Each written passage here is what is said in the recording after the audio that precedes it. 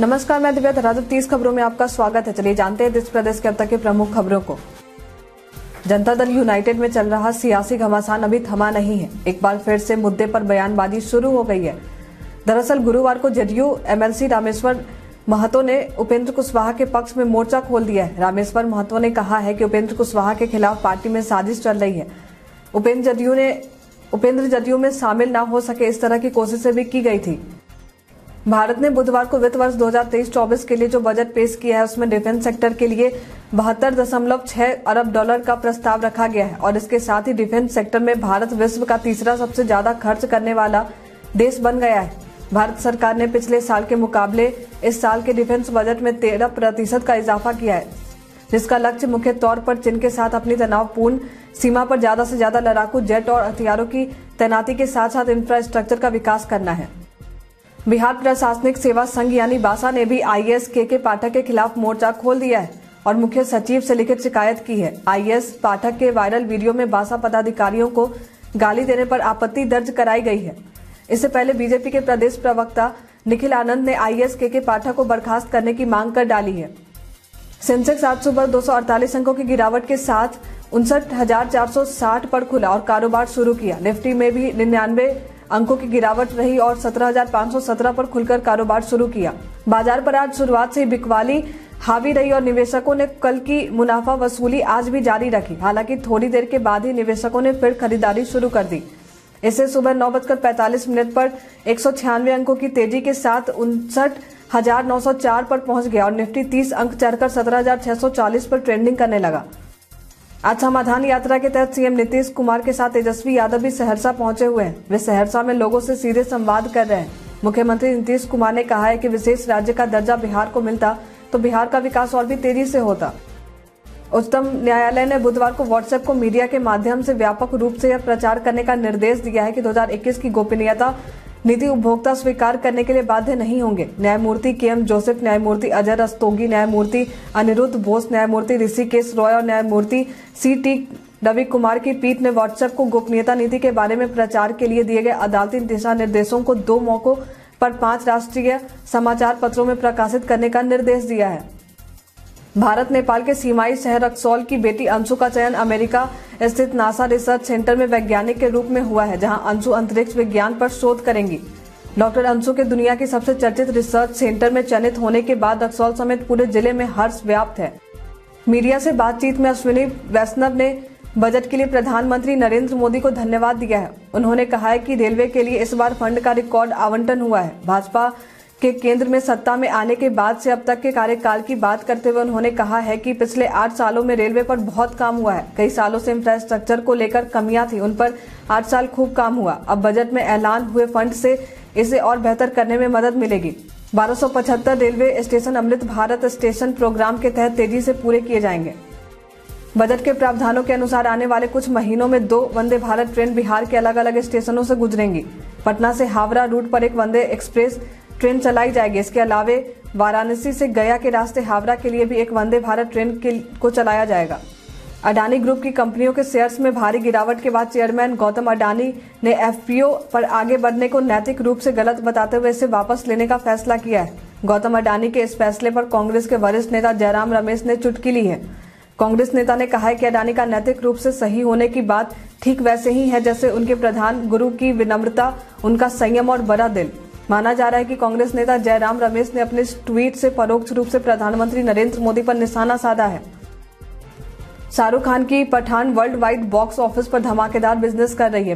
पहले सात दिनों में फ़िल्म ने भारत को अन्य देशों को मिलाकर छह करोड़ रुपए कमाए। अगर बात केवल भारत की करें तो फ़िल्म ने आठ दिनों में तीन दशमलव सात पाँच करोड़ रुपए कमाए। ये फ़िल्म सबसे अधिक कमाई करने वाले फ़िल्मों में शामिल हो गई है। भारत ने बुधवार को अधिसूचना जारी कर संयुक्त राष्ट्र द्वारा अब्दुल रहमान मक्की को वैश्विक आतंकी घोषित किए जाने के निर्णय को स्वीकार कर लिया है। अब संयुक्त राष्ट्र के मानकों के अनुरूप मक्की पर भारत में भी प्रतिबंध लागू होंगे। संयुक्त राष्ट्र द्वारा वैश्विक आतंकी घोषित करने के बाद अपराधी की सभी सदस्य देशों के में संपत्ति जब्त कर ली जाती है। उस, उसकी यात्रा पर प्रतिबंध लग जाते हैं। वह कोई भी लाइसेंसी हथियार नहीं रख सकता। अमेरिका के रक्षा और ऊर्जा क्षेत्र की दिग्गज कंपनी जनरल एटॉमिक्स भारत के साथ साझेदारी में भविष्य के तीन अहम क्षेत्रों में मिलकर काम करने की तैयारी कर रही है। ये तीन अहम क्षेत्र में artificial intelligence drones and semiconductor भविष्य की तकनीक और दुनिया में अपना प्रभाव जमाने के लिहाज से ये तीनों ही क्षेत्र बहुत अहम है। यही वजह है कि भारत और अमेरिका की साझेदारी को बेहद अहम माना जा रहा है। जनरल एटॉमिक्स के एक अधिकारी ने यह जानकारी दी है। कांग्रेस और कई अन्य विपक्षी दलों ने बृहस्पतिवार को अडानी इंटरप्राइजेस मामले पर संसद के दोनों सदनों में चर्चा की मांग की और यह आग्रह भी किया कि इस प्रकरण की जाँच के लिए संयुक्त संसदीय समिति गठित की जाए या फिर उच्चतम न्यायालय की निगरानी में इसकी जाँच हो। पूर्व वित्त मंत्री पी चिदम्बरम ने बजट को लेकर कहा है कि ये जनता से कटा हुआ बजट है। वित्त मंत्री ने अपने भाषण में बेरोजगारी, गरीबी, असमानता का एक बार भी ज़िक्र नहीं किया। बजट से गरीब, बेरोजगार युवा करदाताओं ने कोई लाभ नहीं हुआ है। वित्त मंत्री ने कहा है कि नई कर व्यवस्था को डिफ़ॉल्ट विकल्प बनाना अनुचित है। आम करदाता को पुरानी कर व्यवस्था में जो मामूली सामाजिक सुरक्षा मिलती थी, यह उस पर चोट है। यह एक संवेदनशील बजट है जिसने अधिकतर लोगों की उम्मीदों को ठेस पहुंचाई है। वित्त मंत्री निर्मला सीतारमन ने अपने बजट भाषण में कहा है कि उनका प्लान उन सप्तऋषि की तरह है जो अमृत काल में देश के विकास को दिशा देंगे। इंफ्रास्ट्रक्चर, यूथ पावर, वित्तीय सेक्टर और समावेशी विकास जो सरकार की पहली प्राथमिकता होगी सरकार सबका साथ, सबका विकास की विचारधारा के साथ चल रही है, जिसके अंदर किसानों, वंचितों, अनुसूचित जाति, जनजाति पिछड़ों को वरीयता दी जा रही है। भारत में जी ट्वेंटी की सबसे बड़ी झलक दिखाई देगी। इंडिया एनर्जी वीक में दुनिया भर के करीब 30 देशों से ज़्यादा एनर्जी मैनचेस्टर, दुनिया के 50 से भी ज़्यादा एनर्जी की बड़ी कंपनियों के सीईओ 650 से भी ज़्यादा एक्सट्रीब्यूटर्स, तीस हज़ार से भी ज़्यादा एनर्जी प्रोफेशनल आ रहे हैं। और नए नए और नए नए प्रयोगों को इंडिया एनर्जी वीक में दिखाया जाएगा, जिसमें ऊर्जा के क्षेत्र में कैसे हिंदुस्तान को आत्मनिर्भर बनाया जा सकता है, इसको देखा जा सकेगा। कि कैसे वैकल्पिक ऊर्जा को आज मुख्य स्रोत के तौर पर देखा जा रहा है। बजट सत्र के तीसरे दिन की शुरुआत में ही संसद में आज अडानी समूह के शेयरों में बड़ी गिरावट का मुद्दा छाया रहा। केंद्र सरकार ने आज संसद में राष्ट्रपति मुर्मू के अभिभाषण पर धन्यवाद प्रस्ताव पेश करना है। इस बीच विपक्ष ने संसद की कार्रवाई शुरू होते ही अडानी और हिडनबर्ग रिपोर्ट पर जोरदार हंगामा कर दिया, जिसके चलते संसद की कार्रवाई को दोपहर दो बजे तक स्थगित कर दिया गया। विपक्षी नेताओं ने अडानी पर हिडनबर्ग की रिपोर्ट पर चर्चा करने की मांग की। भारत और अमेरिका तीन अरब डॉलर से अधिक की लागत वाले तीस एम क्यू नौ प्रीडेटर आर्म ड्रोन के सौदे को जल्द से जल्द पूरा करना चाहते हैं। भारत को इससे वास्तविक नियंत्रण रेखा और हिंद महासागर के आसपास अपने समग्र निगरानी तंत्र को मज़बूत करने में मदद मिलेगी। मामले से अवगत अधिकारियों ने विस्तृत ब्यौरा दिए बिना बुधवार को बताया कि पाँच साल तक इस पर काम करने के बाद अब भारत की ओर से फैसला किया जाना है।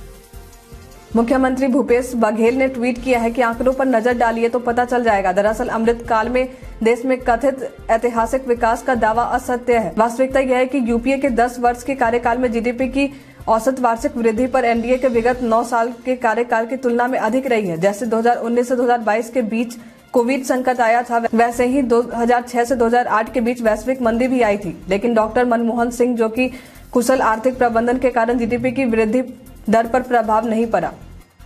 भारत और ताइवान के खिलाफ चीन की आक्रामकता को कम करने के लिए रिपब्लिकन सांसदों ने विदेश मंत्री एंटनी ब्लिंकन से हस्तक्षेप की मांग की है। प्रभावशाली रिपब्लिकन सांसदों ने ब्लिंकन से चीनी नेतृत्व को यह बताने का आग्रह किया है कि एशिया में उसका आक्रामक रवैया अस्वीकार्य है। यह मांग ऐसे समय पर की गई है जब ब्लिंकन चीन की यात्रा करने वाले हैं। ऐसे में अमेरिकी सांसदों की ओर से ब्लिंकन और ट्रेजरी सचिव जेनेट येलेन को एक पत्र लिखा है। एयर मार्शल एपी सिंह को भारतीय वायुसेना का नया उप प्रमुख नियुक्त किया गया है। सिंह ने एयर मार्शल संदीप सिंह की जगह ली है। एयर मार्शल संदीप सिंह इकतीस जनवरी को रिटायर हो गए थे। भारत का परचम अमेरिका में एक बार फिर लहराया है। भारतीय मूल की प्रमिला जयपाल को इमिग्रेशन के लिए बने पावरफुल हाउस जुडिशियरी कमेटी के पैनल का रैंकिंग सदस्य नामित किया गया है। इसी के साथ वह उप समिति में नेतृत्व करने वाली पहली अप्रवासी बन गई हैं। इंदौर में हाल ही में शुरू हुए कोकिलाबेन धीरूभाई अंबानी अस्पताल के पार्टनर बालचंद मेहता ग्रुप की फॉर्म पर इनकम टैक्स पर छापा पड़ा है। देश की अलग अलग चालीस स्थानों पर आयकर विभाग ने एक साथ कार्रवाई की है। आयकर विभाग ने अधिकारी ग्राहक बनकर रियल एस्टेट के क्षेत्र में कार्य करने वाले बीसीएम के प्रोजेक्ट पर गए थे। इसके बाद आयकर चोरी का खुलासा हुआ। युवाओं को सशक्त बनाने और अमृत पीढ़ी के सपने को साकार करने में मदद के लिए वित्त मंत्री निर्मला सीतारमन ने विशेष ध्यान रखा है। विभिन्न उद्योगों की जरूरतों के हिसाब से युवा शक्ति को तैयार करने पर ज़ोर दिया गया है। इसके लिए महत्वाकांक्षी राष्ट्रीय प्रशिक्षु प्रोत्साहन योजना के तहत सैतालीस लाख युवाओं को वित्तीय मदद प्रदान करते हुए दक्ष बनाया जाएगा। अधीर रंजन चौधरी बोले, केंद्र सरकार का फ़र्ज़ होता है हम लोगों को सुविधा मुहैया करवाना। लेकिन ये सरकार, जेब कटुआ सरकार बन गई है। उन्होंने तंज कसते हुए कहा है कि सरकार हमारी जेब से हज़ार लेकर हमें दो सौ रूपए देती है।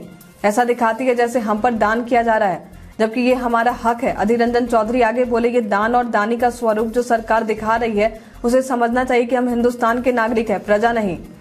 जो चवन्नी सरकार देती है, उसमें भी वो ढिंडोरा पीटती है। लोकसभा व विधानसभा चुनाव लड़ने पर रोक लगाने की मांग वाली याचिका पर सुप्रीम कोर्ट में गुरुवार को सुनवाई हुई है। सुप्रीम कोर्ट ने इस जनहित याचिका को खारिज कर दिया है। सीजेआई डीवाई चंद्रचूड़ ने कहा है कि यह विधायी नीति का मसला है। याचिकाकर्ता के वकील ने कहा है कि यह इसलिए गलत है क्योंकि जिस सीट को छोड़ा जाता है, वहाँ पर दोबारा चुनाव होता है और वोटर को दोबारा आना पड़ता है। यह अनुच्छेद उन्नीस का उल्लंघन है।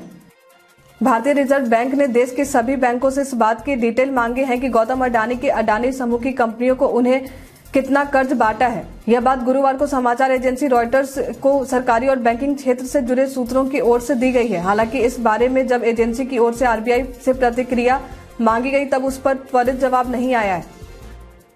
अमेरिकी राष्ट्रपति जो बाइडेन का मानना है कि क्रिटिकल एंड इमर्जिंग टेक्नोलॉजी पर भारत अमेरिका की पहल दोनों देशों के लिए एक लोकतांत्रिक, प्रौद्योगिकी, पारिस्थितिकी तंत्र बनाने के लिए महत्वपूर्ण है। व्हाइट हाउस ने यह जानकारी दी है कि भारत अमेरिका संबंधों में आईसीईटी को नेक्स्ट बिग थिंग बताया जा रहा है। मंगलवार को यहाँ व्हाइट हाउस में अमेरिका के राष्ट्रीय सुरक्षा सलाहकार जैक सुलिवन और भारत के अजीत डोभाल द्वारा इसकी शुरुआत की गई थी।